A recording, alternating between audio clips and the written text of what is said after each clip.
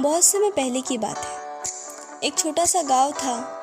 उसके एक कोने में फूलों की बहुत सारी क्यारियाँ थी। उनमें बहुत सारे फूल थे और बहुत सिंपल सी बात है कि अगर फूल होंगे तो मधुमक्खी आना तो बनता ही। तो वहाँ पे मधुमक्खियों का झुंड बहुत घिरा रहता था। एक दिन क्या हुआ?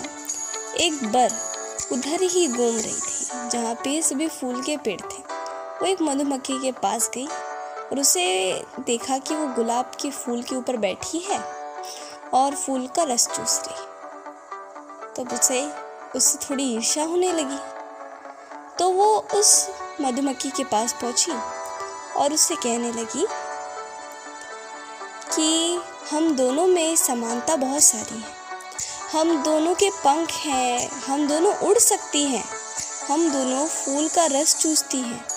हम दोनों डंक भी मारती।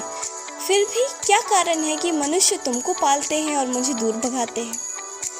वैसे मैं तुमसे अधिक सुंदर थी मुझे बताओ कि मनुष्य मेरे साथ ऐसा क्यों करते हैं? बर का सवाल पूछने का मतलब यही था कि उसके अंदर अहंकार था, कि मुझसे ज़्यादा खूबसूरत और कोई हो ही नहीं सकता। तो फिर मधुमक्खी को लोग क्यों पालते हैं? क्यों इतना महत्व देते हैं?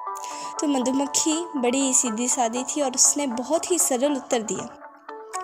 मधुमक्खी ने कहा, यह सच है बहन, तुम रंग बिरंगी हो, उड़ती भी हो, परंतु फिर भी तुम्हारा लोग आदर नहीं करते। इसका कारण यह है कि कोई भी प्राणी सुंदरता के कारण नहीं, बल्कि अपने अच्छे गुणों के कारण आदर पाता है। मनुष्य उन प्राणियों का ही आदर करते हैं जो परोपकारी होते हैं, जैसे कि गाय जो मनुष्य को दूध देती है, उसी प्रकार से और जो लोग दूसरों को दुख पहुंचाते हैं, उनका मनुष्य कभी आदर नहीं करता। तुम सुंदर हो, परंतु मनुष्य को केवल कष्ट देती हो।